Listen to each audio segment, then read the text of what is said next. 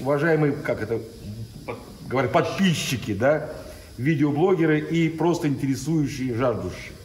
А, машина АИС-35, ну, к сожалению, приехала не с доброй вестью в такой день, 8 марта, приехала женщина, Эм, да. Поздравили, конечно. Цвет даже такой женский. Да, да, да, да, приехал, да, Светлана приехала, наш постоянный клиент. Эм, следят за машиной, часто делают то, как по плану. Делают, сначала делают у дилеров, э, пять лет, ну, потом вот каким-то образом познакомились. И эта машина теперь стоит у нас на обслуживании. А, приехала с каким-то посторонним штуком. Вчера разговаривал с ее мужем. А, он говорит, цепи, цепи, цепи, там везде прочитал, интернет гудит, много читает. Часто бывает тяжело говорить что-либо после того, как человек насмотрится, начитается. Да? Спорить невозможно и не надо. Как-то надо было убедить. Я хочу поменять цепи, потому что на холодный посторонний штук по телефону не объяснить, что возможности... Да, кстати, на этих машинах цепи, хоть и кто-то пишет там 150-160 тысяч, но ни разу мы на этом пробеге цепи еще не меняли вот на, как раз вот на КД, на КЕ, да, эти двигатели. То есть цепи более-менее и надо. Цепи более-менее разгруженные, поэтому они ведут себя хорошо достаточно долго. Есть машины, особенно которые ездят не по Москве, не по пробкам, то бишь, а по трассам, те приезжают 230 и 240 тысяч километров, да, цепи живые.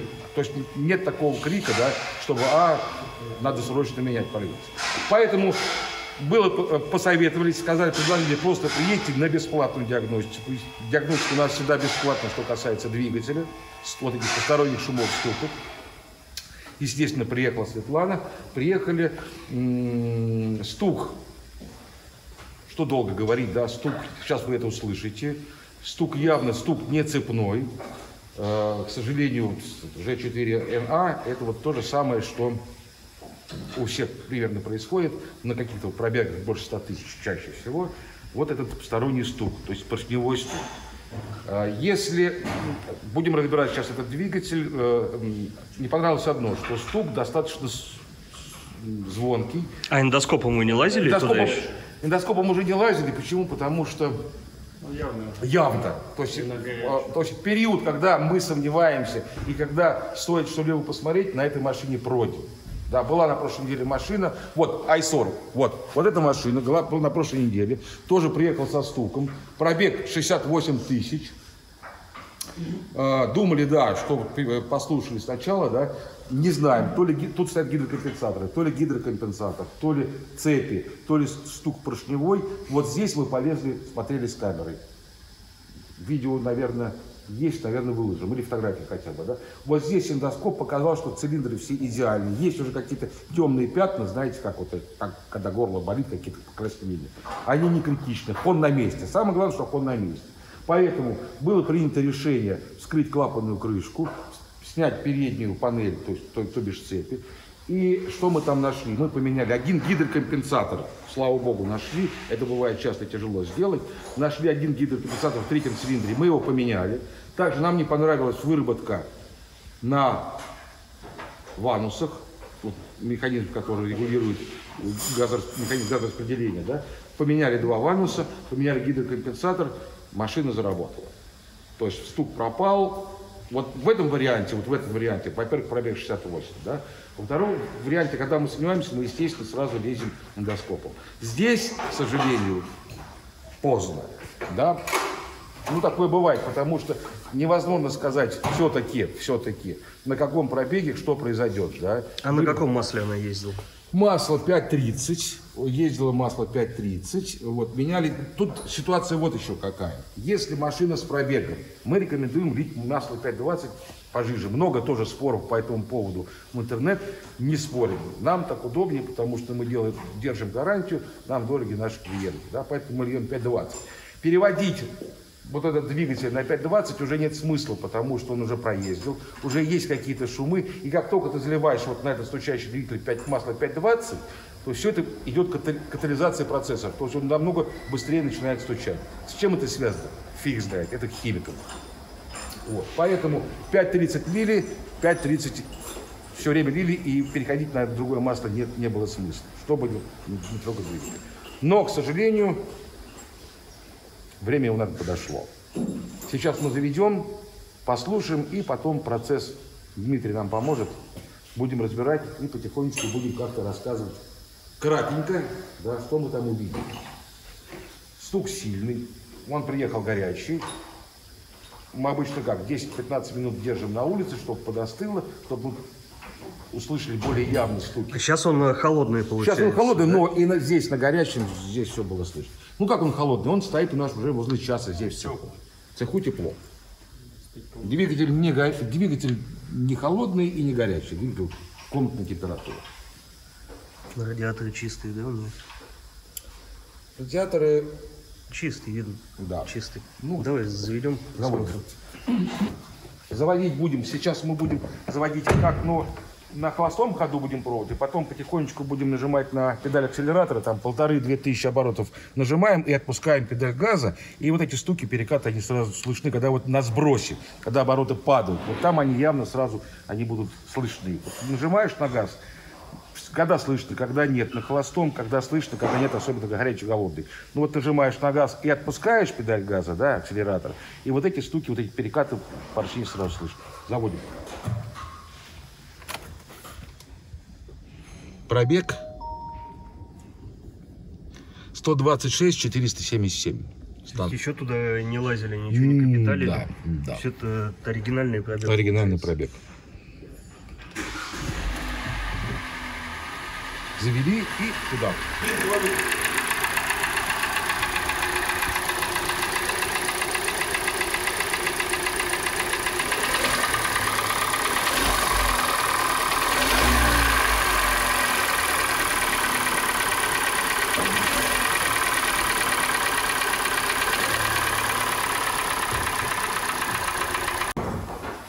Так, Старый я уже итак, мы выставили сейчас, э, у нас получается первый четвертый цилиндр в нижней мертвой точке, поршня у нас внизу. То есть цилиндрики у нас с вами открыты для просмотра. Так, ну, начнем с четвертого. Ну давайте них Ну, все четвертый начинается. самый. Четвертому достается больше всех, но начало почему-то со второго-третьего. Так, вот он у нас поршень. Вот поршенечек такой. Ну вот они. Вот они. Вот видите черные полосы? Вот это. Вот, это Есть уже- медицинский, да, есть медицинский э, термин по этому поводу, но не хочется здесь его освещать. То есть это плохо. Вот видите, да, видите, хона не видно. Бог бы с ним, да. Бог бы с ним, было бы эти полосы, да, и после гизовки тоже эти полосы есть, все-таки поршень очень короткий. Короткоходный поршень, поршень ничего не весит. Да, он стучит по гильзе, но хон сохраняется. А здесь, видите, хона нет. Вот там, где черное пятно было, хона нет. Значит, пошел масло жор и пошел, и пошел звук посторонний. Масло жор на этих двигателях не сразу начинается. Надо поездить вот с такими задними. Вот с Вот оно. другой стороны. Видите, другая сторона. Вот, видите, хон отсутствует как класс. Все, масло жор. Ждите масло жора. Опять же, не смертельно все это делается. Просто все вот это, которое вот здесь надирается, э, чем плохо, да, вот э, ездить достаточно долго с этим, потому что все это сыпется вниз. Все это сыпется на вкладыши, на коленвал, на масляный насос. И не дай бог, бывают варианты на распредвалы. Ни разу не меняли, мы их шлифуем, не, не точим, не, не растачиваем, просто шлифуем вручную, да, handmade называется. Вот. Ну, посмотрим, что будет на этом двигателе. Да, как, как- что, что, досталось, что досталось в общем и целом вот эти задержки. До чего они добрались. Это у нас первый цилиндр.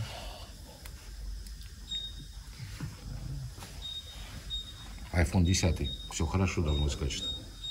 Ну вот они, вот Ну, полосы вертикальные, первый да, первый, да. Но здесь, опять же, да, повторюсь, извините, здесь почему-то со второго, третьего цилиндра начинается и достается четвертому. Видно, масляный канал идет, ну, начало маслоподачи с первого и на четвертый. И вся вот эта вот фигня гонится в самый последний цилиндр. Там ему, конечно, достается, бедняжке. Ну, сейчас посмотрим второй, третий, да? С ответной стороны. Вот, смотрите, да, это Ну, ответная это- сторона. вот Вот, это еще- о чем мы говорили, да? Вот эти полосы, они есть. Даже на гильзованных после пробега 100 тысяч вот приезжала машина недавно, да, Владимир Борисович свидетель.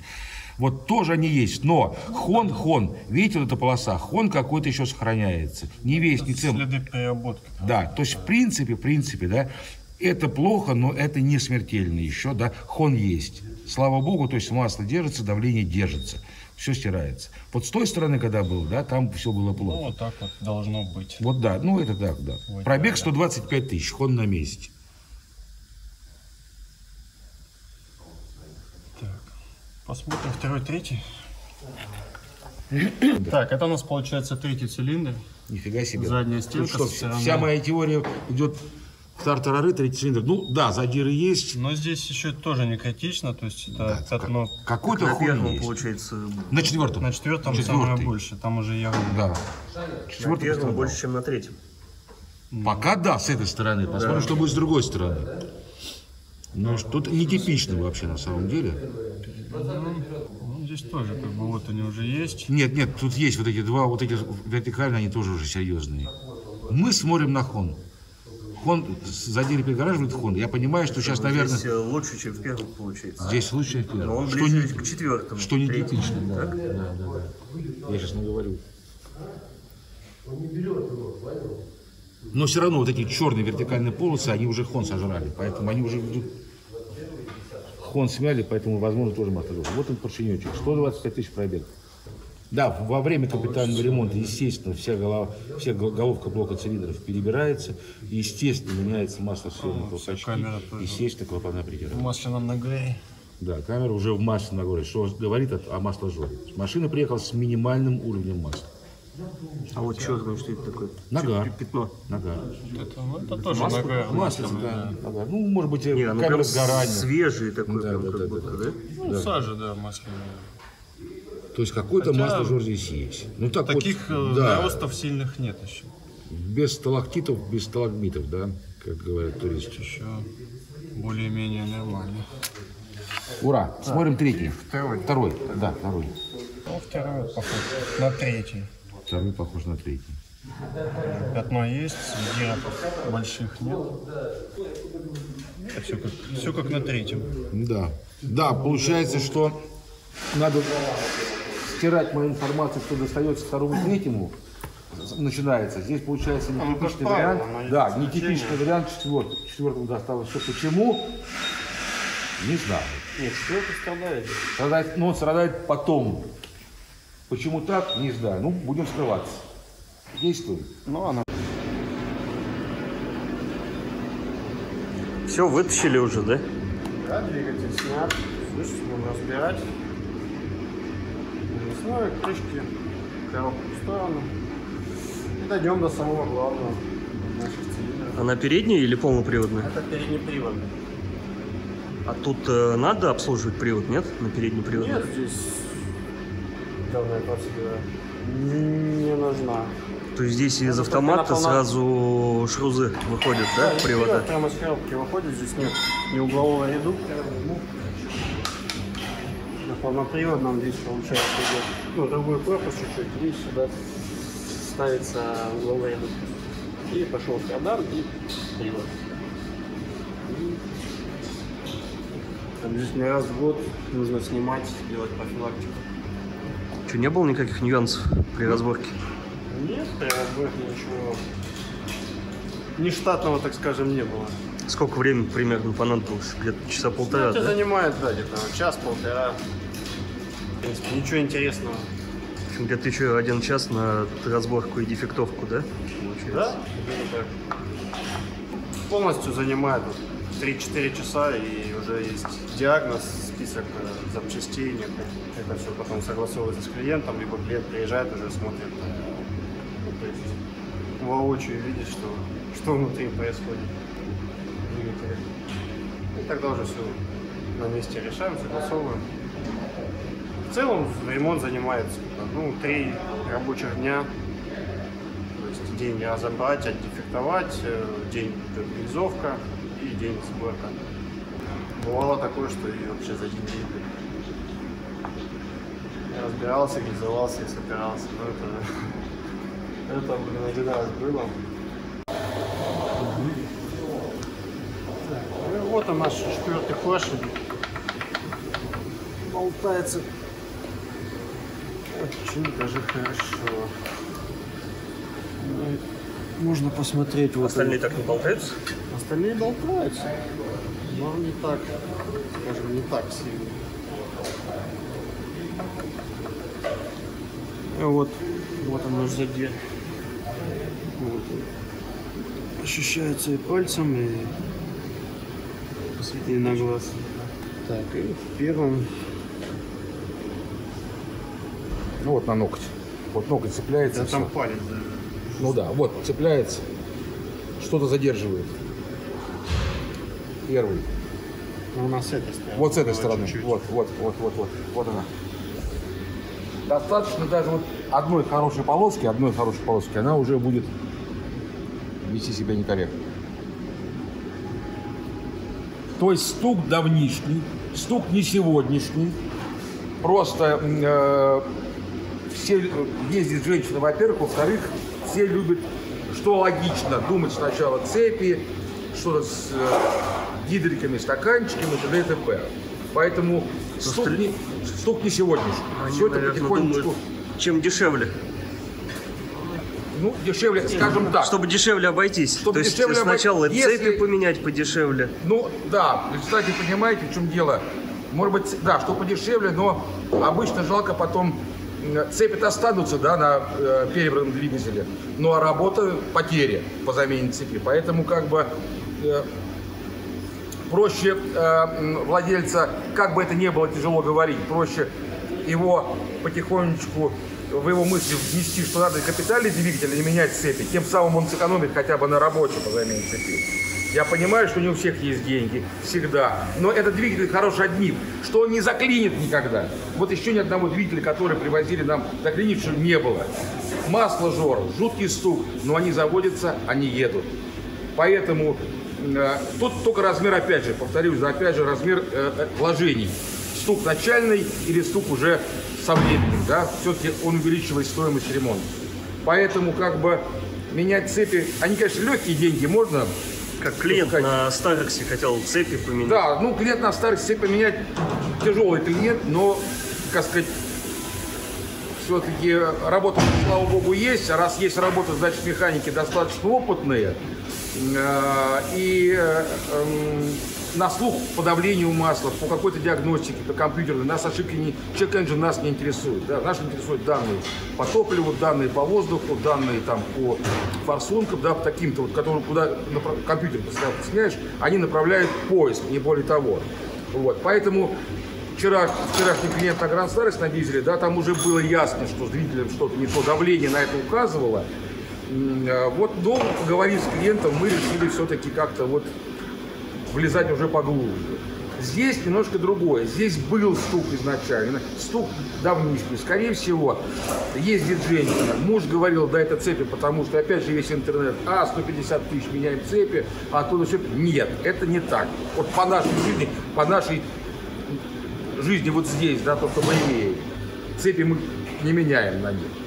Вот. Ну, поэтому здесь, наверное, все-таки ремонт будет чуть дороже, потому что стук, который вы слышали на видео, он не очень хороший. Хотя цилиндры не, не совсем плохие, что вот типично. Обычно второй, третий, потом четвертый, да. Здесь как-то четвертый первый плохой, второй, третий плохие, ну, как бы вот Второй, третий, кстати, даже не... да, второй, третий, даже вот ноготь цел, да, ноготь ни за что не цепляет. Почему, не знаю. Вот мне интересно вместе с вами это посмотреть. Для нас это тоже в новом, честно. А с катализатором что ли? Катализатор, да. Значит, смотрите, на этих машинах, где катализатор стоит сразу на ручном коллекторе, то есть это машина достаточно свежая, да, то э, бытует мнение, об этом говорят официалы, и это, наверное, правда. Что они говорят по поводу стучащих двигателей? Да, вот при- приезжают клиенты, даже гарантийные бывают, что они говорят? Плохое топливо, катализатор забивается, и вся вот эта пыль керамическая идет в цилиндры. Есть такое мнение. А, еще год назад мы в это, я лично, я говорю за себя, работая здесь, но тем не менее, я в это не очень верил, потому что обычно э, катализатор дует, э, сильное разрешение идет там, где стоит ИГР, на дизельных двигателях, да, вот там сильное разрешение, и там может в обратную, в обратно из трубы все всосать, да. На бензинах это не, нет, если это не турбированный какой-то мощный двигатель, да. Вот, поэтому я не очень в это верил, но вот э, вчерашняя машина, которая вот э, AX35, и там мы где делаем капиталку, да, вот видео, наверное, вы увидите, ну, хотя бы фотографии. Вот там видно то ли масло, наездились с маслом плохим, да, горевшее масло, ну и катализатор там просто даже по-русски сказать просто, да, вот там уже, думаю я, что у вас в том числе из-за катализатора. Были, были машины Ceed, Solaris, у них из-за катализатора бывают. Вот в это, это правда, можно поверить официальной версии, да, то, что из-за плохого бензина. Поэтому, если катализатор, еще раз повторюсь, стоит вот здесь, возле выпускного коллектора, то мы 99% мы его будем удалять. Удалять, потому что вот есть слухи, есть прецеденты, не часто, но все-таки мы удаляем, в том числе, чтобы делать гарантию, чтобы клиент был доволен, и чтобы и гарантия у нас была, и чтобы, ну, жили все мирно. Вот. Это, конечно, какие-то деньги, но это совершенно земные деньги. Если катализатор стоит вот там, вот там, вот там, вот далеко, да, вот как на ранних ма- на машинах, спортажах обычно, КД, да, он где-то вот здесь стоит, то мы даже вообще туда не лезем, да, практически. Мы его не снимаем, не меняем, почему-то он более более-менее жив. Опять же, конструктивная какая-то, наверное, особенность, может быть, какая-то прошивка новая, может еще что-то. Все-таки двигатель как-то настраивается, на заводах что-то еще делается. Вот, поэтому, скорее всего, этому катализатору будет капец. Видео вы увидите, наверное, подтвердится, слова не подтвердится. Ну и в любом случае, если даже он хороший, нам с вами нужно на этом двигателе ездить еще как минимум 150-200 тысяч. Да? Поэтому катализатор удалить и забыть эту проблему с этой стороны. Ну что, смотрите, сняли мы выпускной коллектор, это и наш мотор.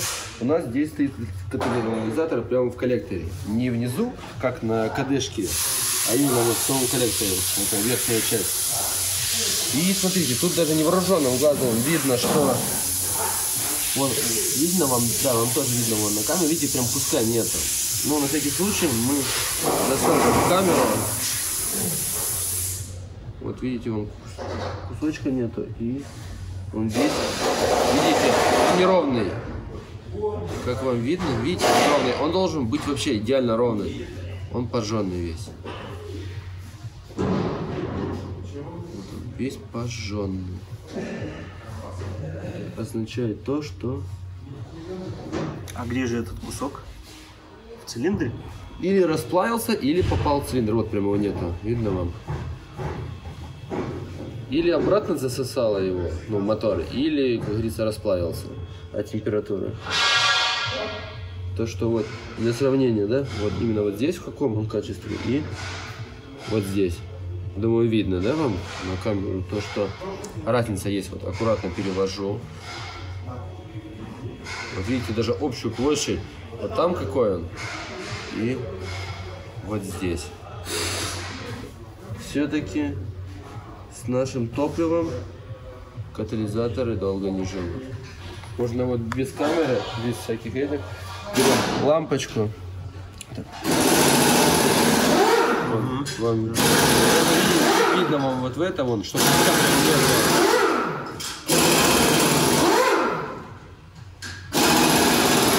Даже невооруженным даже.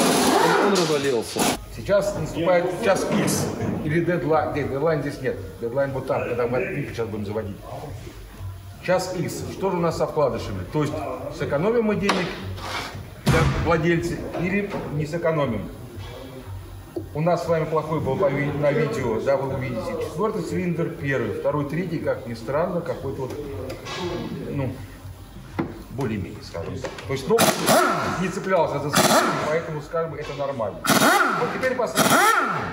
Когда вот это задиры были, начал сыпаться вниз, масляный насос начал гонять, посмотрим, догнал ли он вкладыши, догнал ли он коленвал.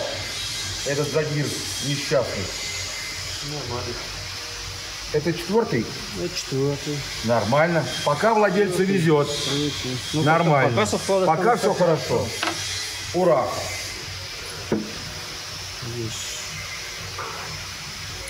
Все-таки владелец женщина, Никаких и сегодня 8 марта, вдруг повезет. Если, да, если вкладыш нормальный, то масляный насос тоже нормально. Ну, естественно, мы вскроем, да? Естественно, посмотрим. Если хоть есть хоть минимальный какой-то задир или подозрение на задир в масле насосе, да, он достаточно здесь простой. Тогда, конечно, ему надо будет менять.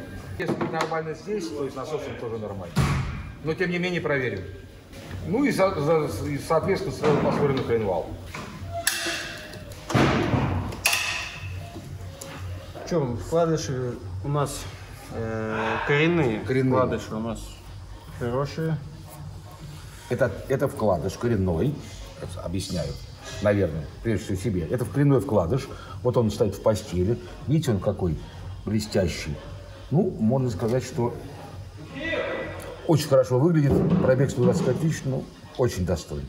Поэтому, слава все При том, при том задире, при- светлое, да, Да, масло? при, при тех задирах, что э, мы наблюдали, да, вот это очень хорошо. Скорее всего, женщина-владелец молодец. Испугалась стук и приехала. Можно сказать, вовремя. Теперь мы с вами. Да, простите, что быстро. Почему? Потому что, как вам сказать, можно, конечно, взять логарифмическую линейку, можно все эти промерить зазоры. Э, ну, нужно ли вам это? Интересно ли вам это? Вам же нужно суть уловить. Суть мы вам подадим, да? Что делать? Мы вам подадим. Кому интересно тонкости, можно посмотреть. В любом случае, можно и к нам подъехать. Мы с 9 до 8, слава богу, опытные. За поговорить денег не возьмем. Приезжайте, поговорим, покажем даже не на вашей машине, просто поговорить. Подъезжайте. Итак, поехали. Опять я отвлекся. Опять меня тут унесло. Унесло меня куда-то. Давай, Дима. Так, по вкладышам какая у нас ситуация? То есть э, коренные вкладыши у нас все хорошие. Здесь ни, за, ни задиров, ни каких-то протертостей, ничего криминального особо нет. То есть вкладыши коренные можно оставить. Их не менять. То есть они в хорошем состоянии. Вот здесь на пятом есть э, такая протертость, но это не критично.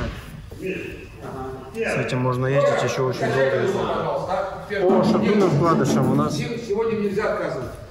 по шатунным вкладышам у нас получается ситуация такая. Э, верхний вкладыш шатна, вот, у них протирается. То есть у них были ревизии по вкладышам, как раз они красные, красные, черные бывали цветов. То есть они экспериментировали с э, напылением вкладыша, усиливали его. Это еще старого образца, то есть это первые самые вкладыши. Мы их не меняем. Эти мы будем менять. То есть О! в крышках нижних шатунов вкладыши хорошие. То есть шатунные вкладыши под замену. Они не задраны, они просто потерты. Но это Я вот правильно у них понимаю? болезнь, да, вот на НА двигателях. У них получается верхние вкладыши шатунов протирают. И есть усиленные вкладыши. Сначала они были красного цвета, потом э, они сделали черного. То есть какую-то керамику они туда начали напылять. Там как-то по-другому это слово называется. Но тем не менее, да. То есть они поменяли э, э, вкладыши. Это как ну, каталожные номера. слой, то есть да, слой добавили. есть замена по каталожным номерам, да. И вот здесь они вот сделали что-то укрепили. Поэтому вот этот старый вкладыши мы вытащим. По замене, по программе, естественно, да, по оригинальной программе, по ВИНу, мы найдем замену на новый вкладыш по номерам, по каталожным, и будем их сюда ставить. С, колен- с коленвалом что? Ну, Коленвал. все хорошо. Все хорошо, По это ни о чем. нас- Покажи. Вопросов вообще никаких нет. Здесь То есть все хорошо, это никаких- значит минус никаких- 30 тысяч у клиента. Никаких намеков вообще на какие-то царапины, нос и прочее, прочее. То есть коленвал у нас в отличном состоянии. Мы его только помоем. И все. И... Вопрос. На новые вкладыши он пойдет отлично. Вопрос. В этом случае мы будем с тобой масляный насос есть? Твое мнение личное. Насос. Ну, скоро посмотрим, но Ладно.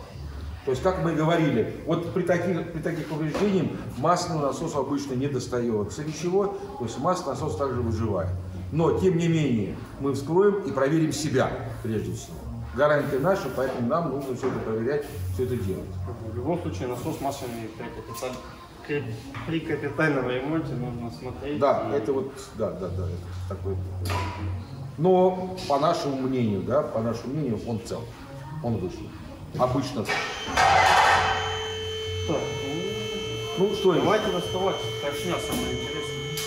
Да. Поршень. Цилиндр, номер. Какой поршень дает полезен? Какого цилиндра будешь доставать? Не знаешь, ну, не важно. Нет, просто мы же, мы же снимали, да, и там посмотрели, что у нас второй, третий более-менее, четвертый плохой, первый такой, как у нас любят говорят сервисы, подуставший немножко. Сейчас мы посмотрим, что по спортсмену.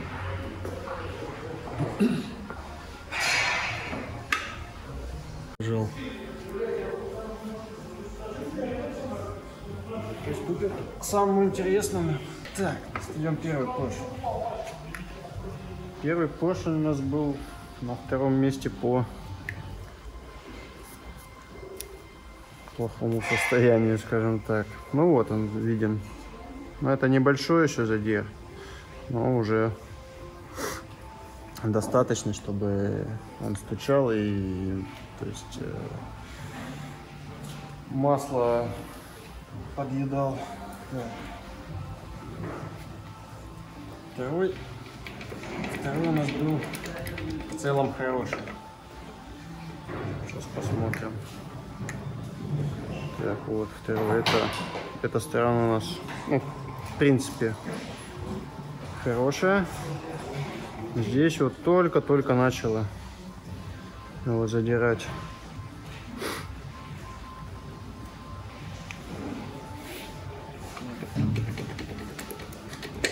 Третий. Третий у нас тоже был как второй. Но... Ну, это вот самый лучший. Здесь вот еле-еле его начало подбирать. Напыление здесь даже осталось. Антифрикционное. То есть это самый лучший будет. Ну, теперь Теперь четвертый.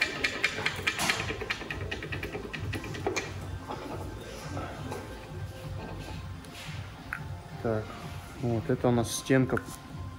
Это у нас получается со стороны впуска впускного коллектора. Там задиры были не сильно большие. А вот это уже со стороны выпуска. Четыре, да? Да, это четвертый получается. Вот как раз он у нас и стучал. Опять же, поршень маленький. Юбка здесь вообще э, площадь ее совсем маленькая. Поэтому ну, ресурс этого двигателя как бы максимум 150-200 тысяч. Там, в любом случае застучит по новой. Ну что, Ну вот он наш. господа прихожане. Да, да, вот, к сожалению, стандартная операция. Стандартный. Вот здесь тоже какое-то есть напыление черного цвета, да, там, по-научному называется, это, да, антифрикционное совершенно. Вот, и оно потихонечку сдирается, и потом начинает, видите, вот уже, видите, поршнечек вот прям как кольцо на мужской руке, да, маленькое, тоненькое, ничего не весит. Сам блок одной рукой можно поднять. Естественно, поэтому вот э, телепается он в этом цилиндре, как я не знаю что, ну вы знаете как что. Вот. И вот такие вот неприятности есть. Чтобы этого избежать, к сожалению, аж с прошлого тысячелетия ничего нового не придумано. Гильзовка. Гильзовка, гильзовка, еще раз гильзовка. Гильзовка, оригинальный размер поршней, номинал и стандарт. Да? Под каждый поршень подбираем гильзу, гильза сухая, то есть растачивается, блок вставляется. Вот. И если даже поршенечек стукнет, вот как мы с вами обсуждали ранее, да, даже стукнет по гильзе, да, хон остается. Будет рисочка, да, но, как говорят наши доблестные механики, притирочная рис, назовем ее так, притирочная, да, но тем не менее хон остается, то есть масляного голодания, масла жора нет, и вот таких противных стуков нет. И это долго достаточно, это много, ходит Ну, опять же, 150 тысяч, как бы... Пройдет, да, нет, случае. у, у меня есть рекорд, я могу об этом говорить, потому что, да, больше первый двигатель корейский я мы реализовали аж в 1996 году. Мы первые, приехали две машины корейские, Соната третий, симпатичный, с ума, сумасшедший двигатель. Э, И мы работаем на «Жигулях», понятно, все мы оттуда выросли, и мы их просточили, и благо есть э, заводские, ремонтные, мы расточили, через 20 тысяч приехала одна машина, масло просто уходит, масло жор жуткий совершенно, вот. Потом через некоторое время появилась такая же вторая машина, разобрали, прослезились, и старики сказали, давайте их гильзовать. Тогда тем тамошние старики, те старики сказали. И вот с 96 -го года гильзуем, гильзуем, гильзуем, и боимся не гильзовать. И боимся, предлагают, да, расточить несколько дешевле. Но вот елы пал. Надо же этому двигателю дать жизни, да, чтобы гильзовка дает ему. Все остальное кто-то говорит, ходит, да, приезжают владельцы, говорят, вот расточные двигатели ходят. Наверное, да, это есть. Но мы не будем это делать. Мы гильзуем. Примерно сколько уже приехало расточенных? Причем 2000 пробег Да, после много капитал, уже есть масло и Да, хорошего безус- безусловно. Дим, конечно, расто- нельзя сказать, что прям после расточек нам двигатели идут косяком, где-то там на стороне, да, потому что мы разбираем, это все задано.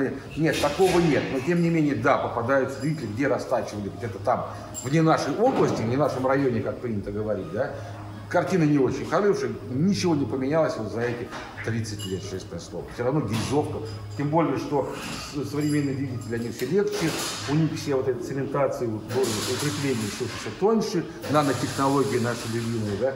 Поэтому, естественно, э, ресурс, наверное, заводской все-таки ресурс там где-то даже написано официально, что он на самом деле небольшой, там 50 тысяч, оно нормально, да, средний, средний европейский пробег 20-25 год, умножайте на свои 5-6 лет, вот он двигатель подходит к своему, к своему, к своему жизненному завершению жизненного цикла, завод выпускает новую модель с новыми двигателями, давайте, ребятки, покупайте, да, вот поэтому удивляться о том, что говорят многие, что двигатели э, мало ходят, жизнь такая, да, стремительная пошла, заводы работают, моделей много. Мало того, это не только корейцев касается, да, вот я сам не, не люблю про себя говорить, тем более на, на да, там есть немецкий у меня, немецкий автопром езжу, э, приезжал к нам э, диагноз работы в э, дилерском центре, не буду говорить, какая марка, не буду говорить, как называется, да, на немцах, давно работает 20 лет, и так как у меня такая же машина, я начал его пытать,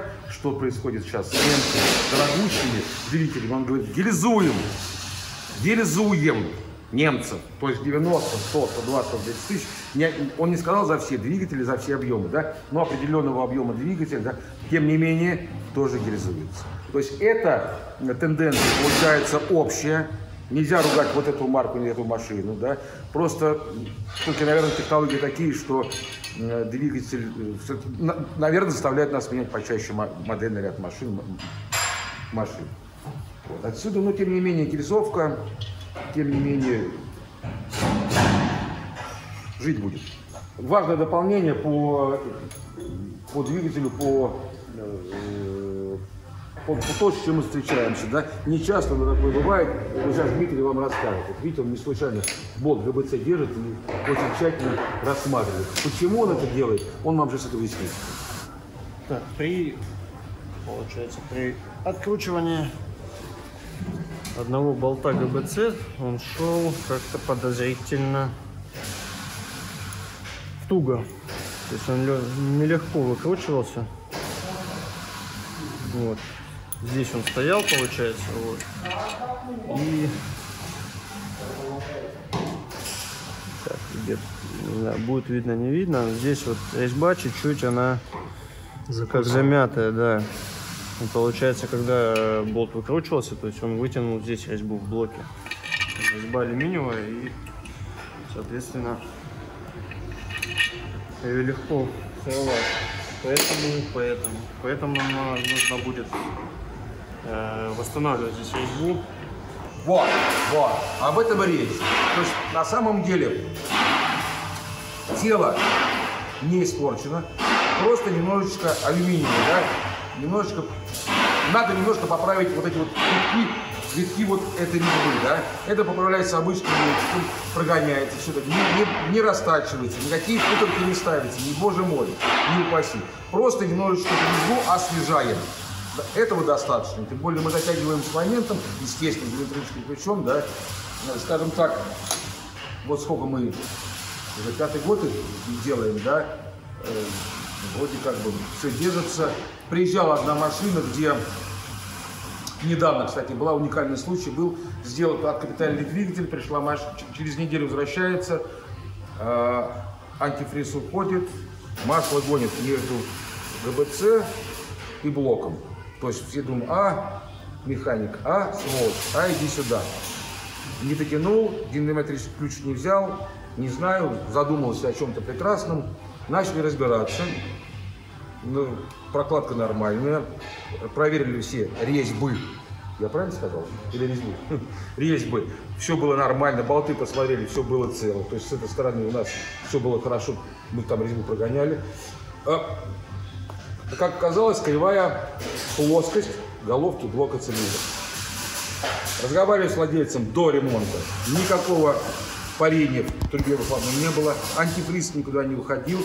Но, тем не менее, факт остается фактом. Да, мы вскрыли еще раз, подняли голову. У нас, благо, есть свой цех. Мы ее опрессовали. Все было нормально. Благо, есть свой цех. Тут же мы делаем шлифовку головки плоскости. И вот там мы сняли 0,15. Вопрос. Это 0, кривизна 0,15 должно было во что-то вылиться. В уход антифриза, в кетчуп какие-то или что-то. Нет, ничего этого не было. И если честно, вот между нами, мы проверяем головки на плоскость, то мы проверяем линейкой, да, Обычно достаточно, иначе владелец что-то скажет, что было не то. Да? Вот антифриз уходил, или там какие-то масла были потеки. И на том двигателе тоже ничего не было. Тем не менее, сняли голову,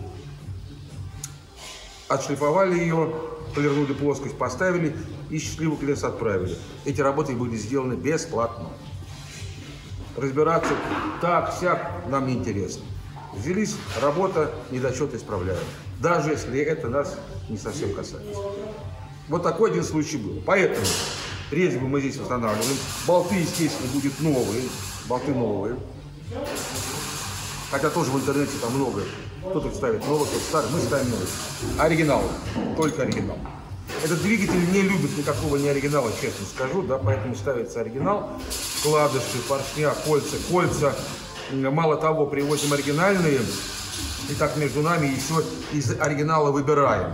Не знаю, с чем это связано, упаковка везде красивая, везде все это, и все, что нужно, на них наклеено, но тем не менее, по каким-то причинам приходит механик и говорит, что я не буду ставить эти кольца, ну, просто молча даем ему новый комплект. Потому что механик должен быть уверен, если ему что-то не нравится, мы лучше поменяем. Говорить о том, что ставь, это оригинал, говорить, что там не оригинал, в оригинале не может быть что-то не то, мы так не думаем. Мы просто даем другой колец. Вот это тоже бывает. Итак, блок приехал у нас с гильзовки. Вот, цилиндры загильзованы. Хон нанесен. Все хорошо, все отлично. Так. Поршни, поршни собраны. Тут осталось кольца поставить. Вот новые поршни.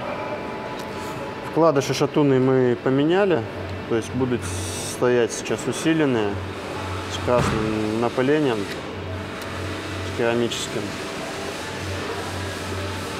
Кольца оригинальные будут тоже. В принципе, все запчасти стараемся ставить только оригинальные. Э, коленвал у нас был в хорошем состоянии, мы его помыли. С ним, в принципе, больше ничего делать не нужно было. Также у нас э, была проблема с э, одной резьбой. Мы там при откручивании болта на бал, э, то есть резьба вытянулась немножко. Но мы это дело прогнали метчиком. Сейчас все хорошо, все закручивается, затягивается. Проблем никаких нет. Так, что еще? Что еще? Да, в принципе, пока все. Сейчас будем собирать. Все будем собирать. Что еще? И показывать вам.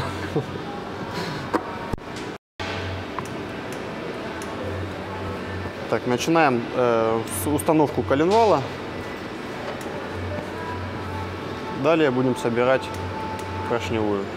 Шатунно-поршневая группа у нас собрана. В принципе, низ собран, э, поддон прикручен, обтянут э, коленвал, то есть шатунные крышки, шатунные, ой, коренные, коренные шатунные с э, определенным моментом, то есть все как э, по мануалу.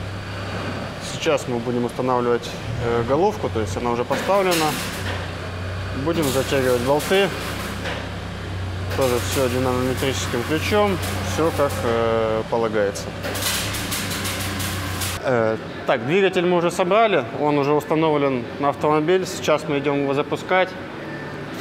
И сейчас вы увидите, как он работает. И так далее. Все, сейчас прогреваем, проверяем э, автомобиль снизу, чтобы нигде ничего не текло. И все, ставим защиту, выгоняем на улицу, и она будет ожидать клиентов. Все, отлично.